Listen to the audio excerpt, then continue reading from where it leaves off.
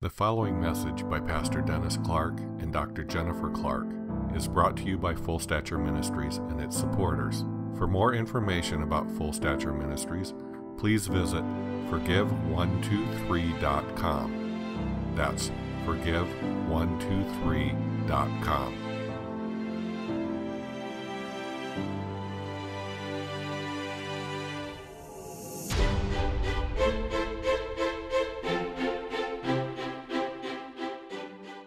Mary, could you stand up, please?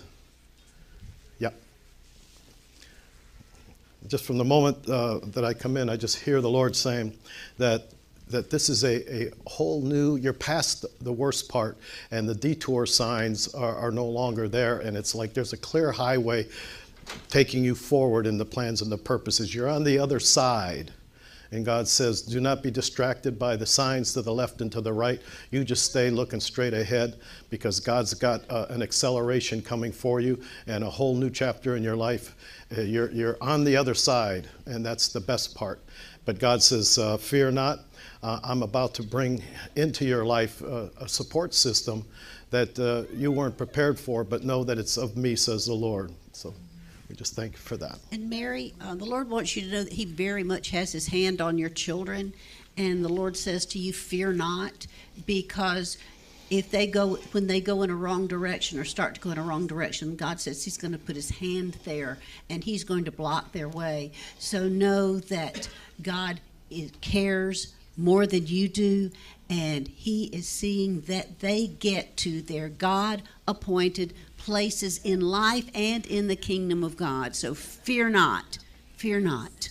And Brienne, stand up. This is the day and the season of your health and your healing is coming now in Jesus' name. Amen. And I just release that anointing right now to bring physical health to your body. God's changing even your DNA and your entire system because you're in a new bloodline. You're in the bloodline of the Lord Jesus Christ. Uh, uh, hereditary things and things are going away. God is reshaping, remolding, and bringing health to that physical body that you sought. You've sought and you've sought, but God says, Know this, that this is a time of transition. There's been a great season of gestation, but now God says, I am bringing to birth those things that have been promised in times past. In and I'm name. seeing, Brienne, that there's some things that you've put on the back burner, so to speak, and have just left there.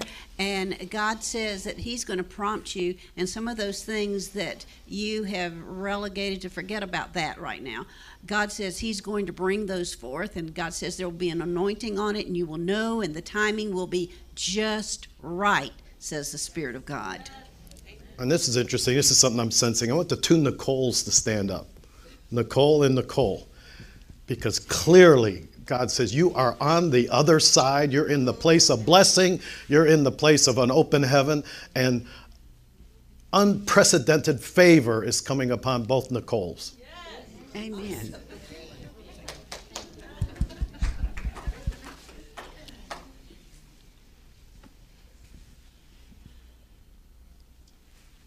And Jennifer can see you now. She's got 20/20 vision. So if you're making, if you look like you're sleeping in the back row, she's going to come and go.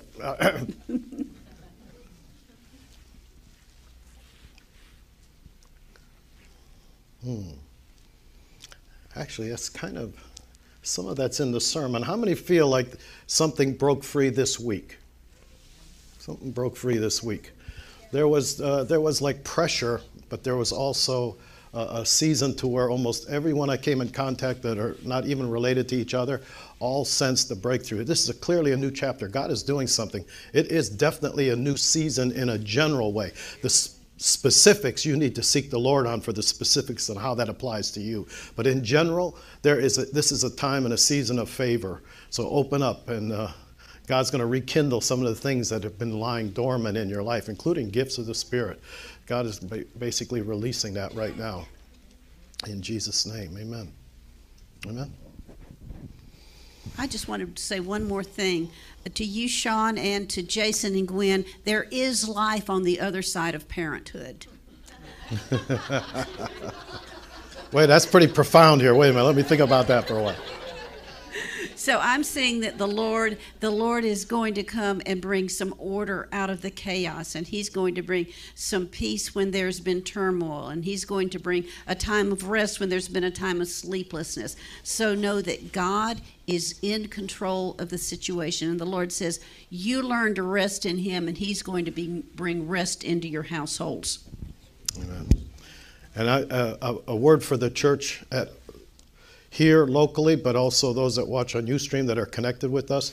I am totally convinced that the Lord's been speaking uh, uh, a strong, a strong directive that those of you that are employees, you need to humble yourself and start working as if God were your boss, not your boss. There's, there's attitudes now where God says uh, promotion doesn't come from the east or the west, but it's God that lifts up one and puts down another, and your attitude can determine it.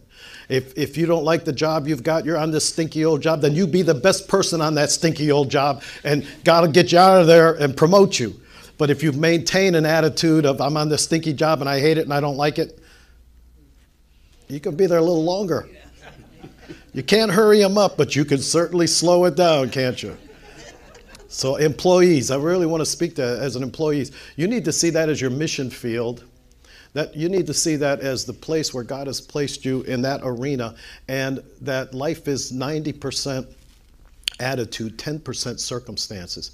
As a believer, start getting the victory over those circumstances, especially those negative ones.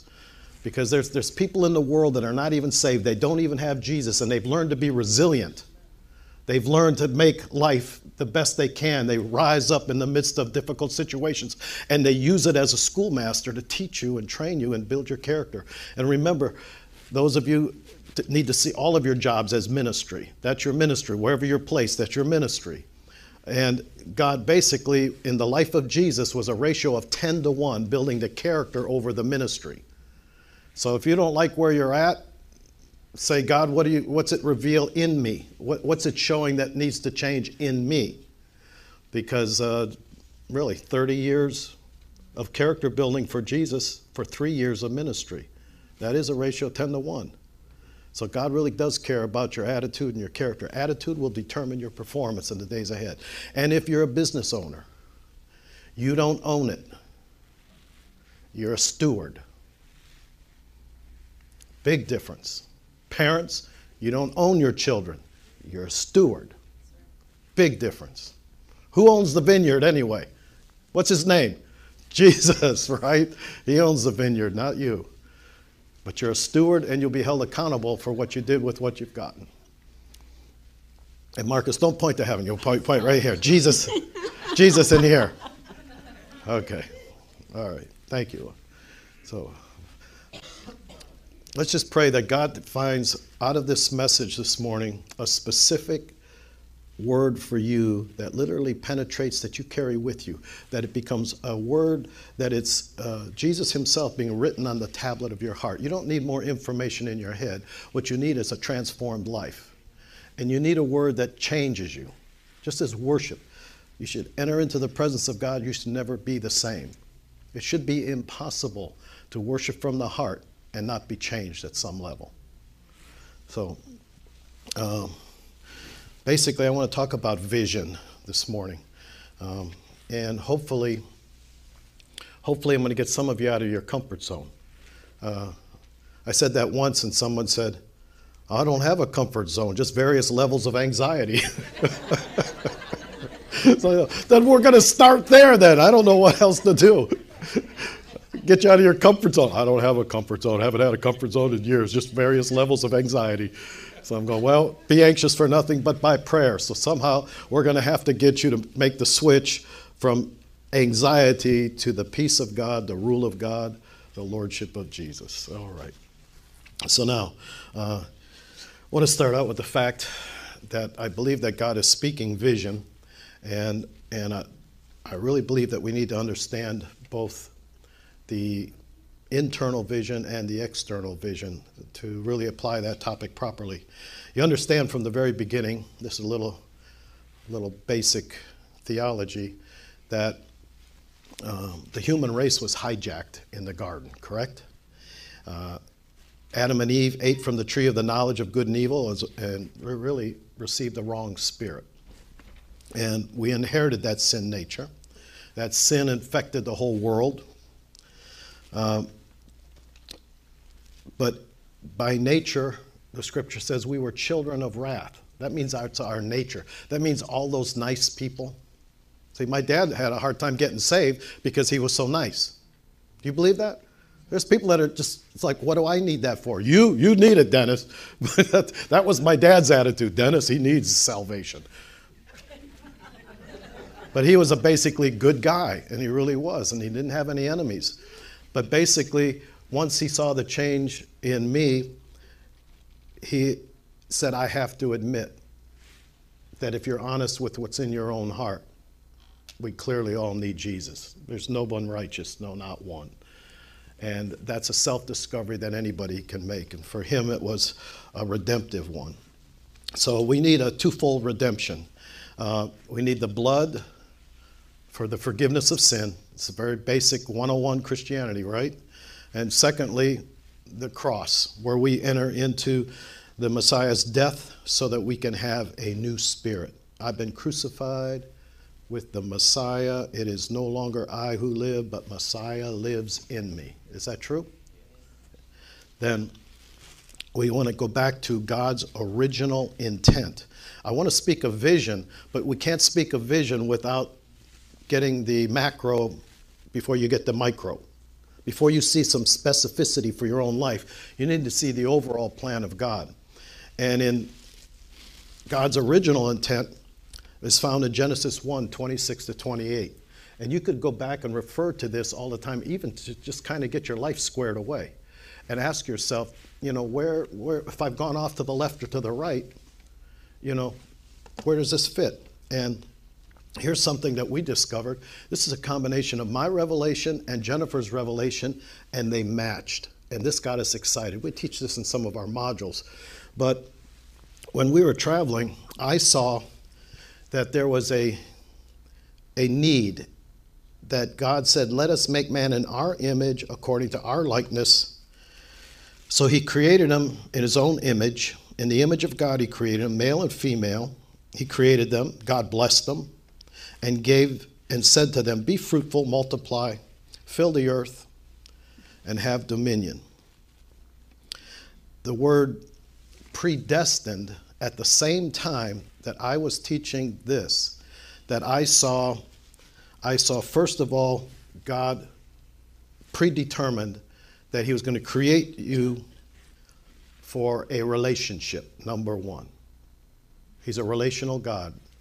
And that it was a trust relationship. Okay? In the image He created you, He created you, then He blessed them. Now, how did God bless us? Well, He gave us His own love nature. And so I saw that he wanted intimacy and a relationship where we trusted him, number one. But number two, he wanted character development. He wanted us to be a partakers of that love. We love because he first loved us.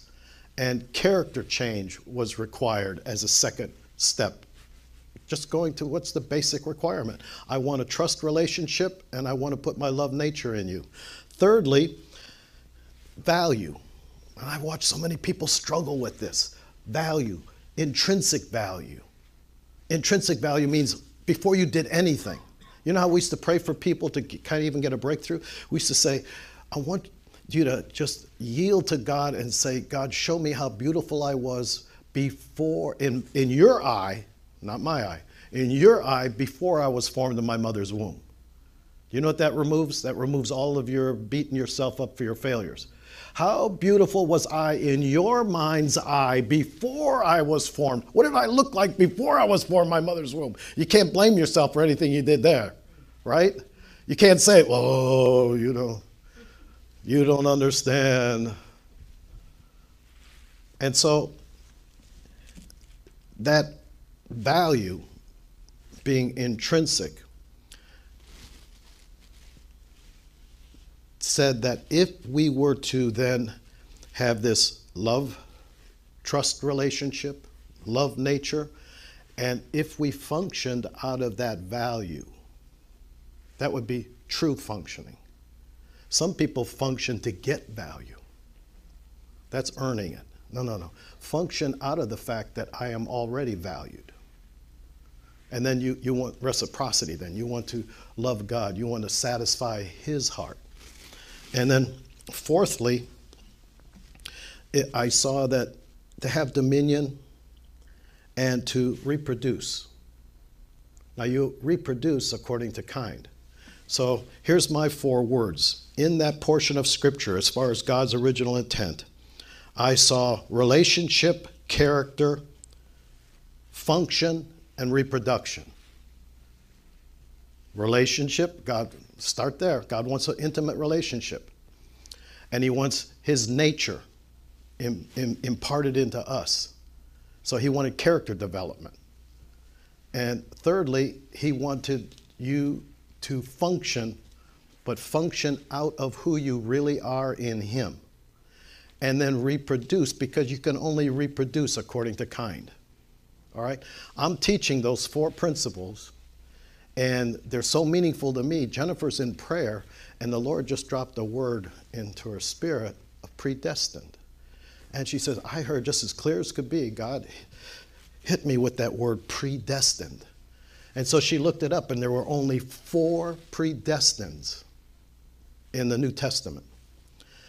And she basically said, you know, in psychology and school, uh, in humanistic thought, they teach, uh, what was it, Maslow?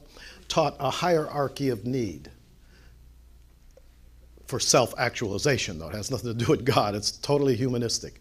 And Jennifer says, God, what is your hierarchy of need? And I'm saying, well, Jennifer, if we look at Genesis, I see God's hierarchy of need right there.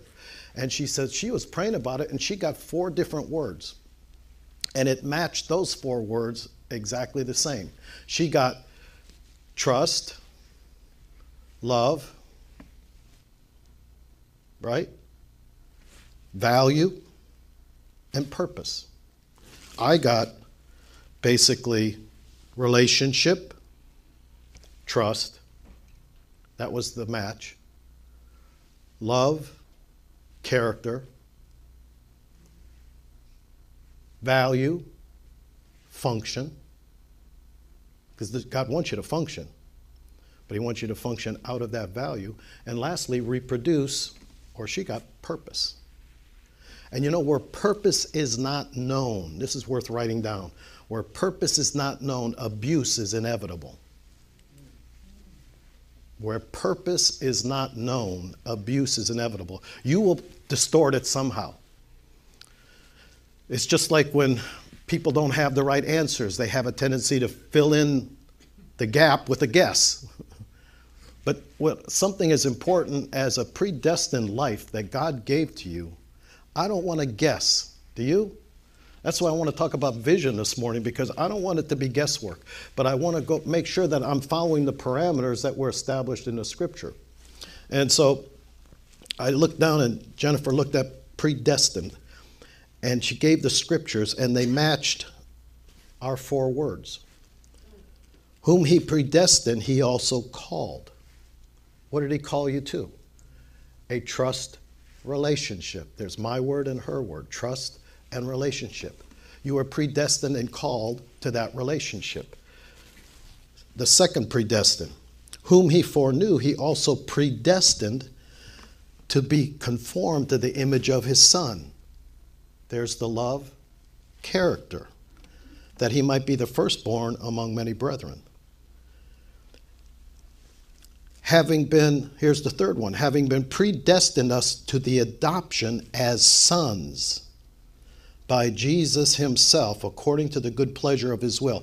Now remember, adoption as sons means come into full maturity. You're functioning the way you were intended to function and you're ready to take over the family business.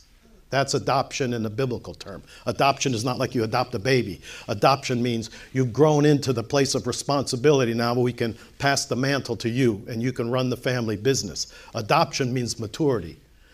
And what was my word for that? Function. You function properly. What was Jennifer's word for it? Value.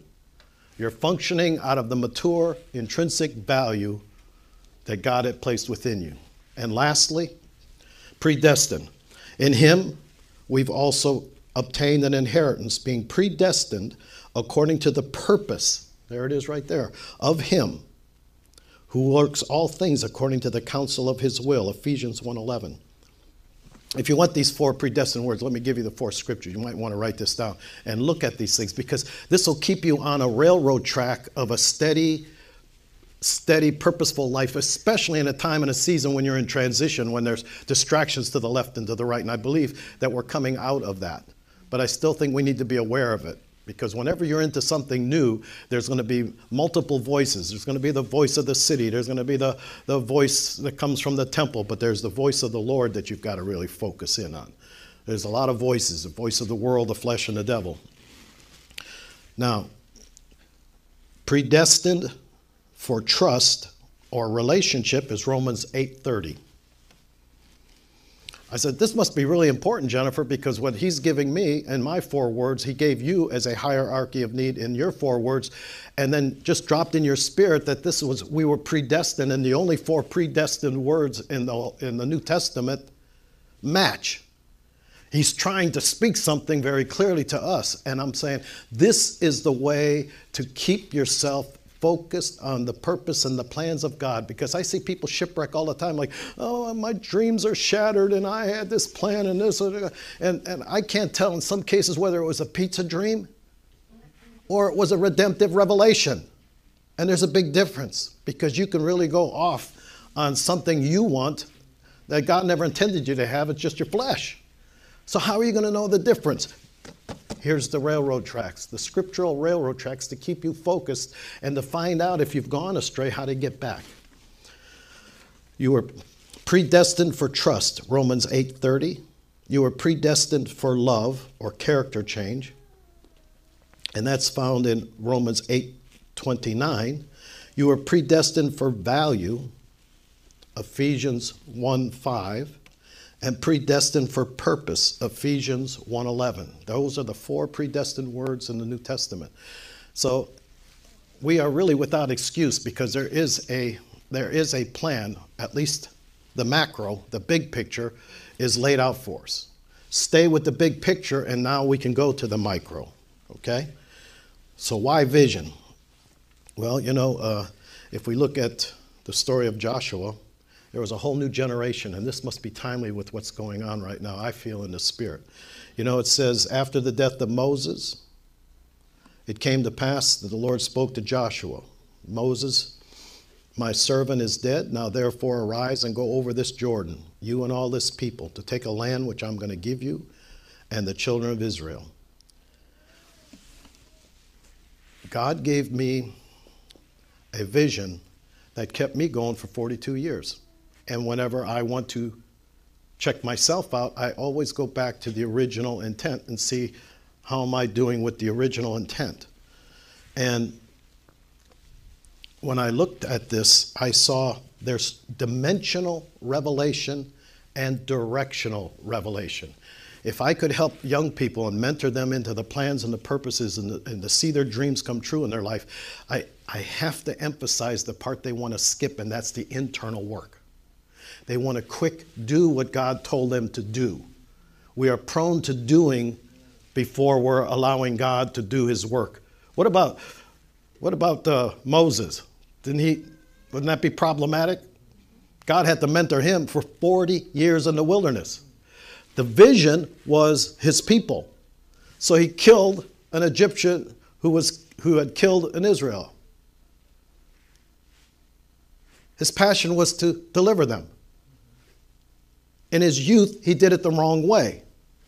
Then 40 years tending sheep, somehow, you say, why does it take so long?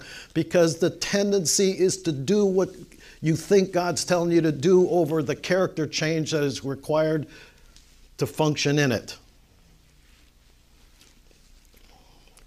Isn't this the part where you go like this? Ah, la, la, la, la, la, la, la, la. I don't want to hear that because I'm in a hurry. I'm, I, I can remember me.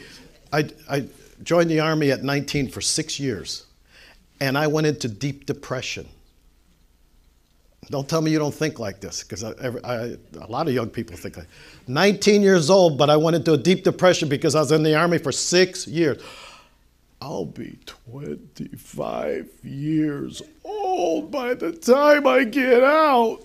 I just stayed in bed for a whole day because I'm going to be an old 25 year old. By the time I get out,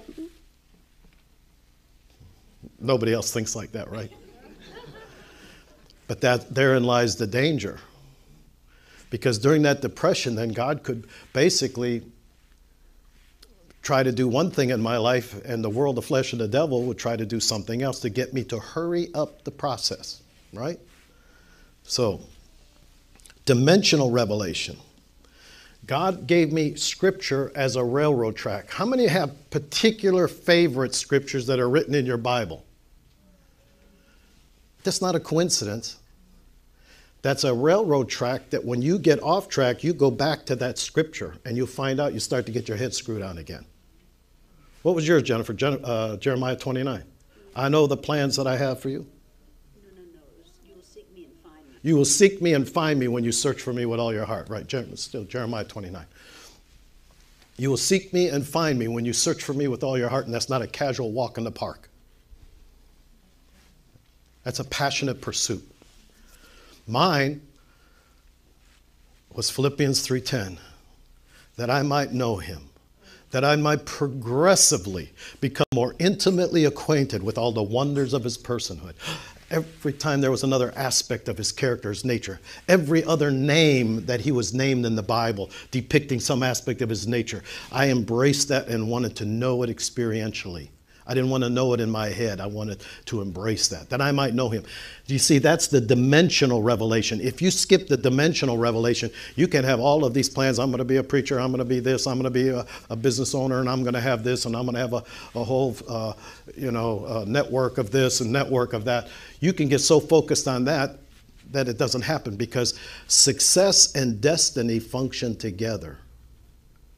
If you get off the track of the internal work you get into success. And there's a lot of unhappy, successful people. There's a lot of unsaved, successful people. But if you fulfill destiny, success is automatically in there.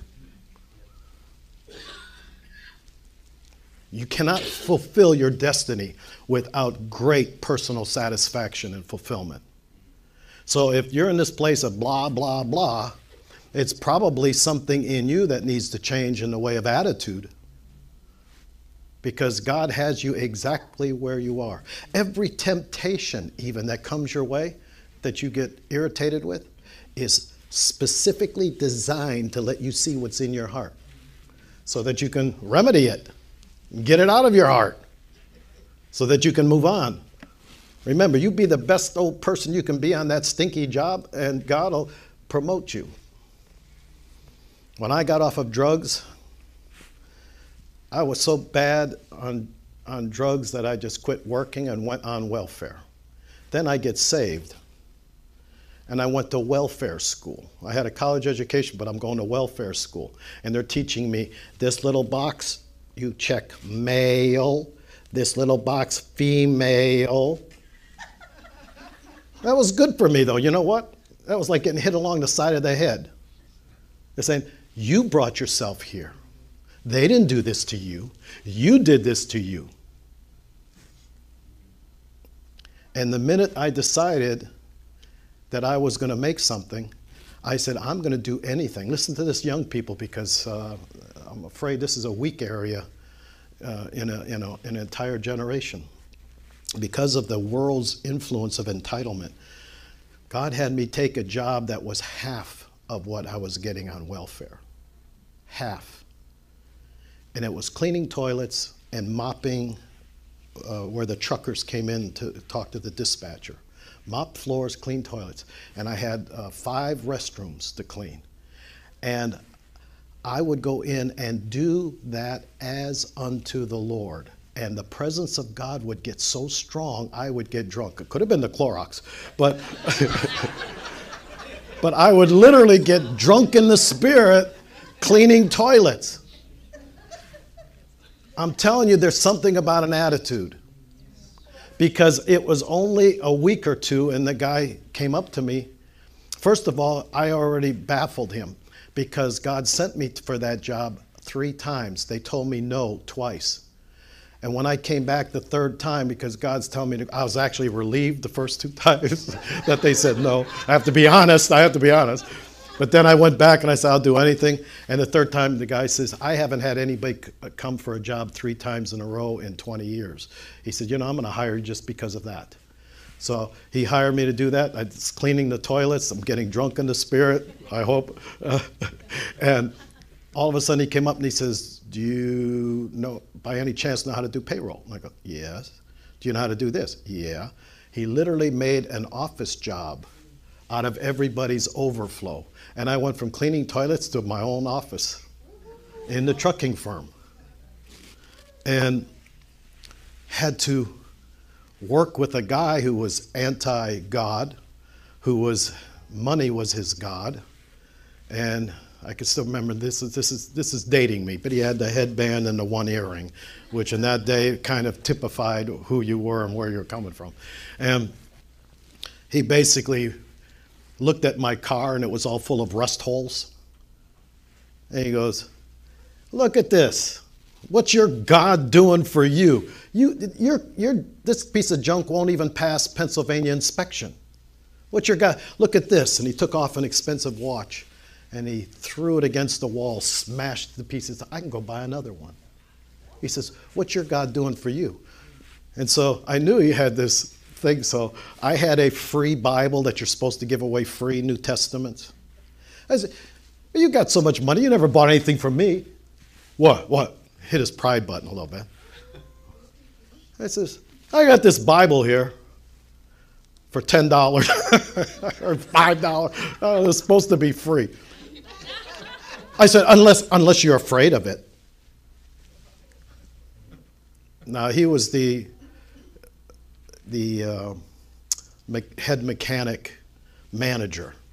He had mechanics, he had guys that were hijacking meats, he had guys that were uh, doing drugs, he had guys that had killed somebody. And this was his.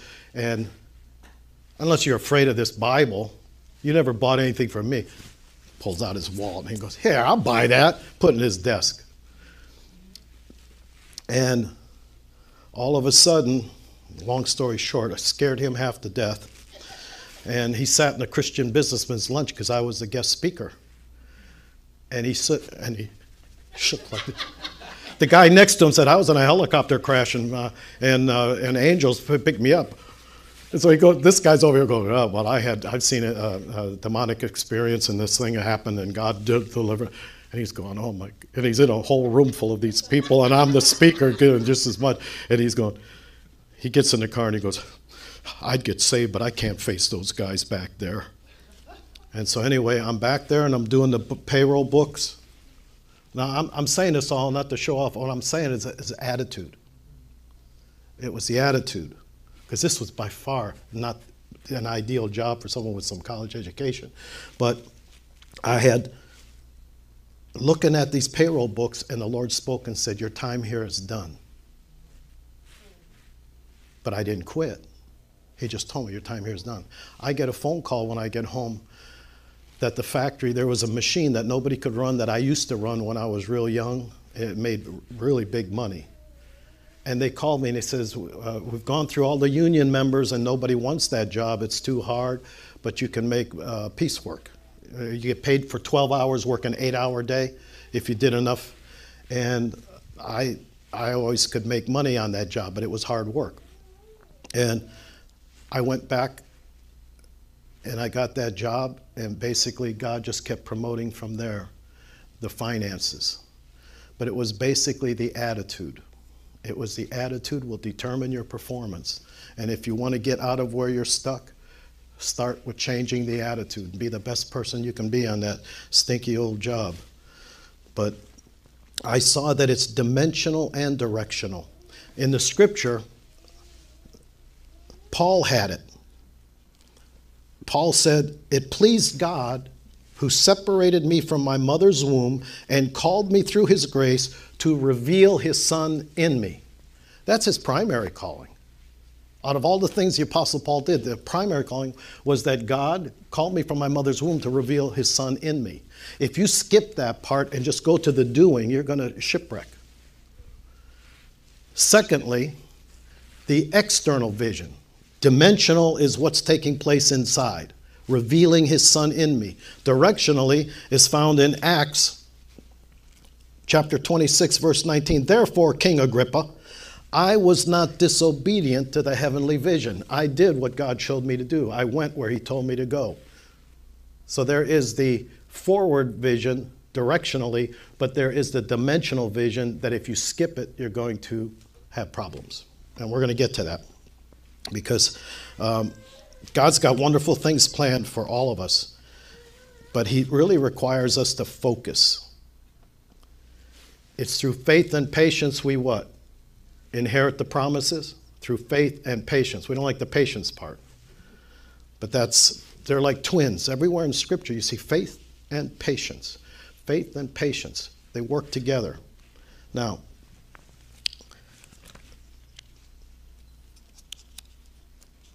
why is vision even important?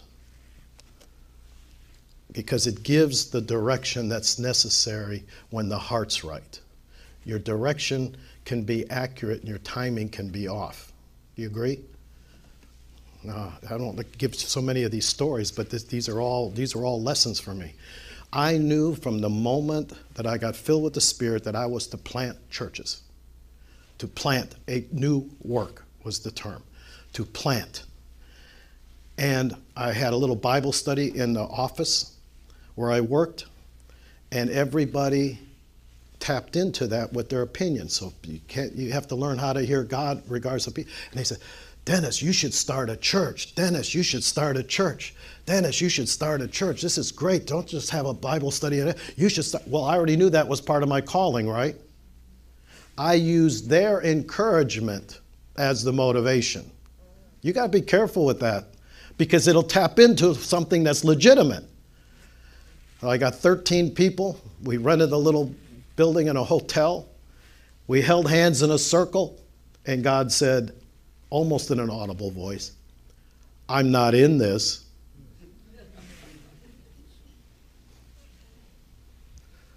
A little humiliation does you good.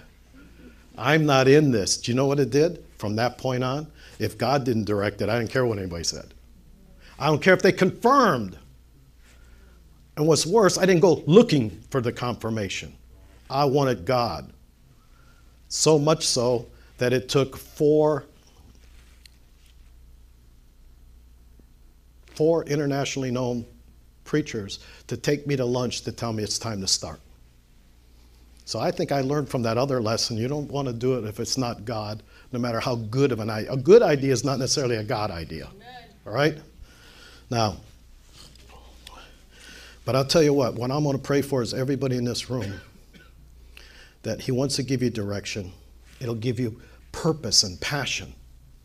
It keeps you going in the hard places. That's what vision will do but it, you make better decisions. Uh, you hit the target, so to speak.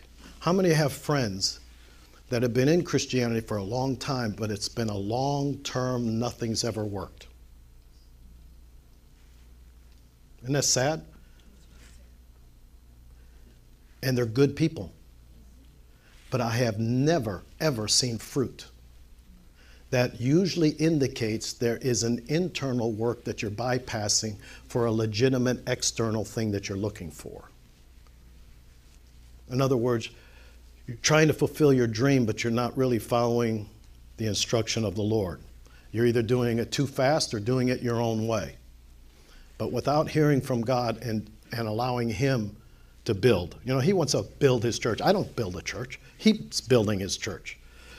You speak what he says, and it works. But God basically, this morning, wants to deal with shattered dreams.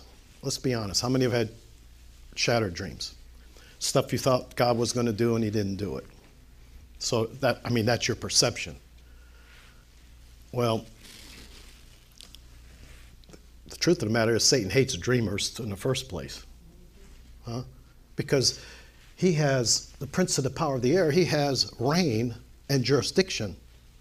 But a dreamer infiltrates that territory and brings it under the lordship of Jesus, that destroys his plan. So he would, he would hate a true pioneer, a true dreamer, a true visionary. So if he hates it, he's going to challenge them because they're, they're rivaling uh, his reign over a territory. And the temptation for you as a Christian, and we want to eradicate this this morning, is twofold. Either he uses delay or doubt. If you're a note taker, write that down because this can get you back on track. He either uses delay or doubt to rob you of your dream and the vision that God's placed within your heart. Delay or doubt. Can you imagine what Joseph went through? I had this vision of brothers bowing down to me. yeah, where did that get him? The pit, then the prison, and ultimately the palace. Isn't that funny that the pit and the prison precedes the palace? Right? Was the vision accurate? Yeah. But it sure, there was definitely delay. I once had a school teacher try to tell me that at the last minute, Joseph got a revelation of forgiveness and forgave his brothers. I go, no, no, no, no, no. That's, I know where that came from. That came from our indoctrination of our school system, the perfectibility of man through education. No, no. Joseph learned forgiveness in the pit. He learned forgiveness in the prison. He, he, he was a man in the making for such a time as this before he went into the palace. He did not suddenly get a revelation that he needed to forgive, that God did this, not man.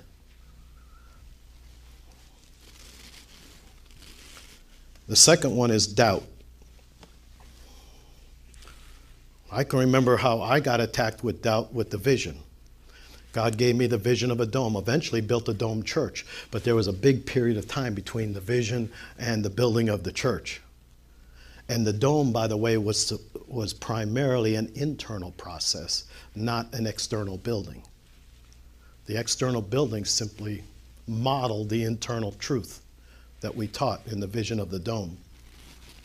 But what God was basically saying is that when you plant a church, I want you to create an atmosphere that's love, acceptance, and forgiveness and grace. I want the foundation to be no other foundation other than intimacy with God. The pillar is going to be worship in the Word, but it's going to be intimacy that goes to transformation. And from transformation to the third pillar of actually, uh, you, would, you would call it uh, evangelization, but in reality, it was more uh, producing out of the maturity the maturity releasing it. You reproduce according to kind, but the kind was supposed to be mature. and out of the base of that temple would flow rivers of living water, just like in Ezekiel. That was the picture that he gave me, but the pattern was practical for an internal development. You start building that here before you're going to build it out there. If it's not real in here, it's never going to take place properly out there. But doubt, I would hear, God, how am I going to do this? and what you're teaching. You're teaching me to tell other people, and some of them look like deer in headlights, and they don't they don't understand what I'm saying. Maybe I should change it and make it easier. And boy, did I get reprimanded. No. But I, I'm looking at them and I'm going, most of this audience are people older than me. I'm in my 20s and they're older than me and they know more stuff and they look like they don't know what I'm talking about. He says, then they should go find out why they don't know what you're talking about. The temptation is to be like other people. The temptation is to find the way of least resistance rather than being passionate about it, going forward, and just obeying God. You know, what did he tell Jeremiah? Don't look at their faces. This day I'm going to make you a, a, a brazen wall. I'm going to make your, I'm going to give you backbone and you're going to do it. Then the Lord gave me a vision. He says, what your problem is, Dennis, is because you're younger than a lot of the people in the room. He says he, he took a big black screen, like an x-ray, and I'll never forget it. It was, a, it was with my eyes wide open. A black screen went over the people, and there were big, big heads and little itsy bitsy spirits. And he goes, You just go to the spirit. The education of the mind comes through much, uh, through, uh, through much study, but the education of the heart comes only by the anointing of God. Hmm? The question what, which are you educating here? I called you to educate spiritually. Delay and doubt. And then there's two kinds of vision there's a retrievable and there's the irretrievable. What would be an irretrievable vision? God gave you something to do. You were, you were going to have 10 kids, but now you're 65 and you have no children. You know what I'd say? That's not retrievable. But if you let it die, you let that vision die, God, in His ultimate wisdom, will raise up an application that you never thought of. That's the problem, is you're interpreting too much. Let God interpret the dream. Might pull a Sarah on you, but if not, if not, you know what that could mean? It could mean that they're spiritual children. But let him interpret, not man, not you, not anybody else. But I'll tell you what, he is smart enough to take your compost pile and make it into a beautiful garden. So the reasoning mind has to be humbled and the heart has to be enlarged to where you just say, God, here I am. And if it's something that's irretrievable, let it crash and burn. Face the pain. But I'll tell you what a bruised reed he will not break, a smoking flax he will not quench, but he will bring forth justice for truth. He's, gonna, he's not going to he's not going to stay and crush you and punish you for what you didn't do. A lot of people are in big guilt trips and they just gave up because I was supposed to go on the mission field when I'm young and I never did, and so therefore, da da da da. You know, there's so many different ways now to minister. I had a guy who basically beat himself because he didn't go on the mission field. He got a job as a drive, uh, driving instructor. And all of the people that came from other countries had to get a driver's license. They came to him. And he was so fulfilled. He just loved witnessing to people from other countries coming to get their driver's license. He said, I didn't have to go to those other countries. They came, but you know, you wouldn't interpret that on your own. You wouldn't come up with that. This, that's where a more implicit trust in God is the way to go. And so, so let your vision die. Let it go. I mean, your interpretation.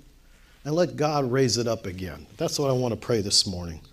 Because uh, I've watched too many people that are in like depression, which is really just internal anger. You need to deal with your anger.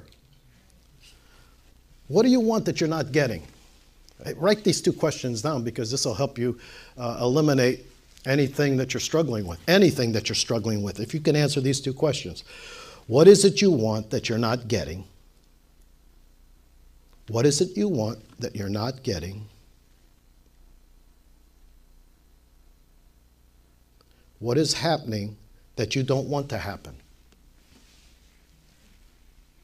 This is good for everybody. I don't care how mature you are. You write that down you sincerely take that before God. And I'll tell you what, you're positioning yourself for Him to do a miracle in your life because you're no longer in control. Anger is tied to control, depression is tied to control. Start forgiving yourself. You put demands and expectations on yourself that God never did. You need to take a lesson from David Wilkerson, who said, God rebuked him once and said, David, straight is the gate and narrow is the way, but you're making it straighter and narrower than I ever did. Do you know you can do that to yourself, can't you? Huh? Somehow we have this loving standard for other people. When it comes to us, we think we have a right to beat ourselves up. Let go. Control. Treat it as sin. There really is a life beyond depression. Don't believe your own diagnosis. you talk talk to yourself and say, well, that's not true. Because God is true and every man's a liar, and I'm a man, and I'm saying, I'm a lion. My own diagnosis is faulty. I'm going to get a second opinion, only it's going to be God. And it really should have been your first opinion. Secondly, choose what you believe over natural feelings.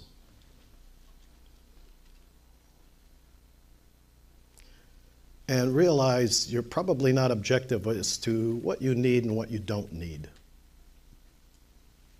You're probably, what is it that you need? What is it you don't need?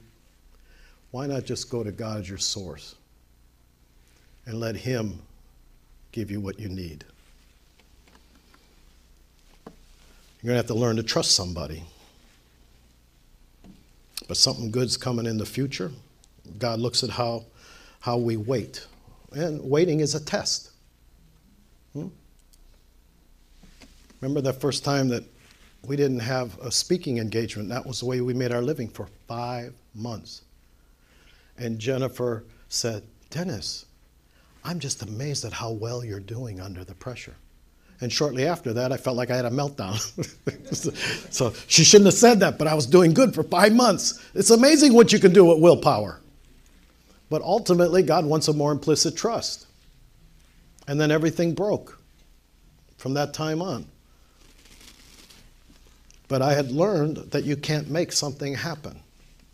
And I really feel for especially young people who want to be successful. You've got a call of God on your life, you've got a dream but you're not going to make it happen. Do what's necessary to educate yourself, but watch your heart. Because if the attitude is right, you will succeed. You guaranteed. There's no failure with a proper heart attitude. It's the stinky attitude that'll get you down every time. And it'll turn to depression. You'll be angry. You'll be in control.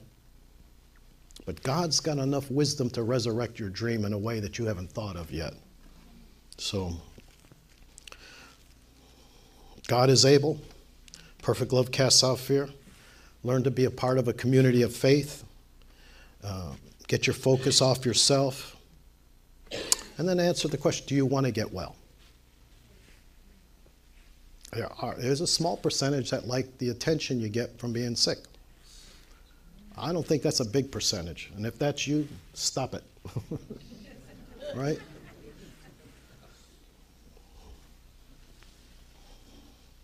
But when a vision is fulfilled, lives are changed. I mean, you forget all of the pain, you forget the waiting, you forget all the consequences, all the collateral damage on the way. It just, you're full of purpose. Remember, what did we start out the message with? Where purpose is not known, abuse is inevitable.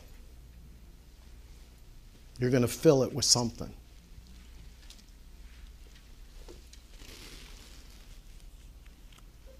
But lives are changed, faith is elevated, and there's two kinds of vision there's short term and the long term. You want to see what the long term vision for absolutely every believer is? Is that you would bring many sons unto glory. That's the eternal purpose of God if your vision blocks that as a prime directive, there's probably still too much of you in your dream.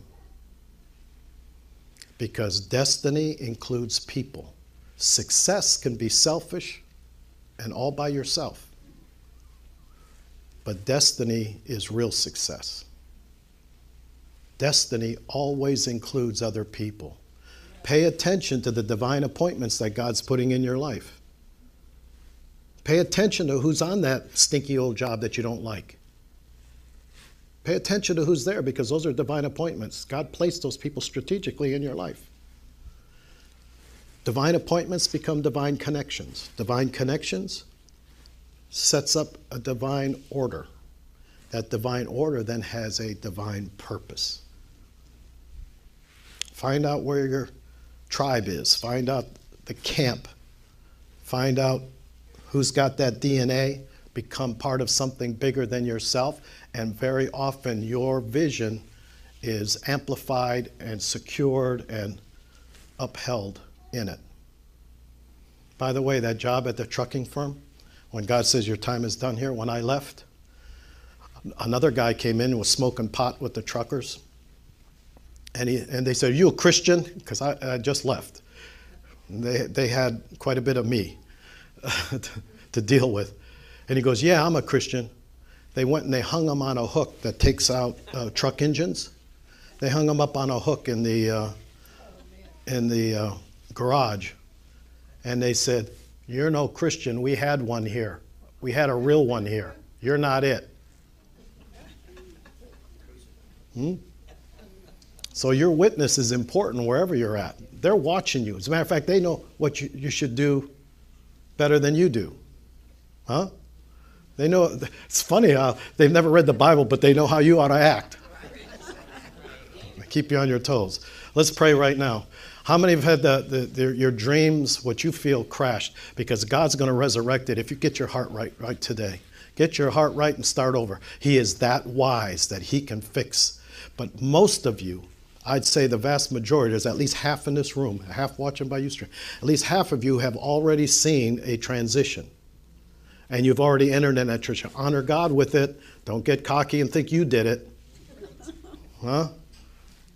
So, Father, right now, for those whose dreams have crashed. We just release grace and mercy right now that God is going to take out of that, out of the ashes, God's going to raise up. He's going to give you beauty for ashes. He's going to give you oil of joy for that spirit of heaviness and depression. I want to pray that you receive forgiveness for being depressed. Receive forgiveness because it's control and it's anger toward inward. I receive forgiveness for giving into that. And right now, I ask for that cleansing by the power of the Holy Spirit to set me free from that control and that anger. I am releasing now into your hands. Uh, whatever it is that I think I'm not getting and whatever is happening that I don't want it to happen, I let it go and I'm giving it to you. I'm giving it to you once and for all. I'm releasing it and I'm not going to take it back. In Jesus' name. And God says, Watch the resurrection life rise up when you bring it fully to death. And be not dismayed in the delay. If it doesn't happen instantly, you're being tested as to the heart attitude. Don't let doubt creep in. Don't let other voices sway you. You know, recently we've seen uh, some people who've lost a spouse, and I get very concerned because when that happens, voices come in to tell you what you ought to do. I say, I recommend for anyone that loses a spouse, stay accountable to somebody stable for a good year. Do not make major decisions without some accountability because you're, you're in an emotional state. My mother died, and within seven days, a woman was going to live in the house with my father to comfort him.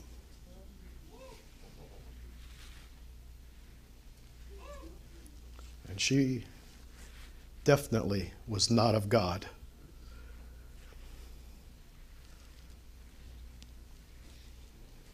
Do you have relationships like that? Do you have people that you can confide in that are stable, that you can bounce things off of? You don't always have to take their advice, but you, sh- you should never be afraid to bounce it off of somebody. That's a weakness that I see. When people tell me what they already decided, that's not bouncing it off me. You, you, you're calling me for after the fact. That's more for their conscience and insecurity. So, Father, this is a time and a season where dreams are going to be birthed again. You know, there's the three stages there's a conception, there's gestation, and then there's birthing. And in some cases, they're being birthed right now, and you're in a new chapter and others they're about to you're about to allow them to die properly so that God can raise it up. And he's not good he knows the plans that he has for you, plans for welfare, not calamity, to give you an expected hope and a quality future. And so Father, we just seal this work right now that this is going to be a season where the vision of God is going to be made real to the people of God, and hopelessness is going to be a thing of the past because in Him there's no such thing as hopelessness. That's the enemy's tactic. Christ in you is the hope of glory. Amen. Amen. Amen. Be full of vision, passion. You've been listening to Pastor Dennis Clark and Dr. Jennifer Clark of Full Stature Ministries at Forgive123.com. Full Stature Ministries reserve all copyright protections under applicable law. Our copyright policy is available at our website, forgive123.com. For more information about Full Stature Ministries and additional life transforming materials, please visit forgive123.com. Did you know that we have an online school available?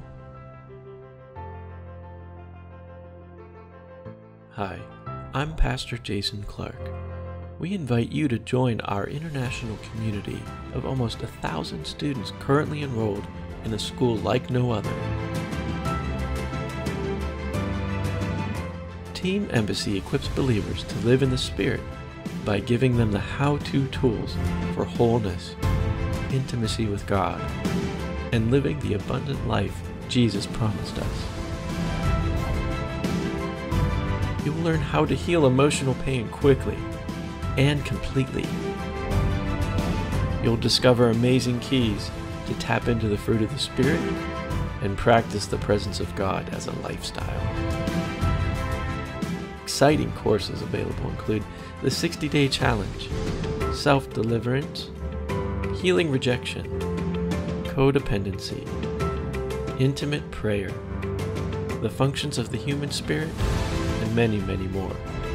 It's formatted so that you could take it with you on all your mobile devices. Sign up today at training.teamembassy.com.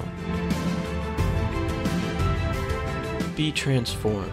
Become all God created you to be. You will never be the same.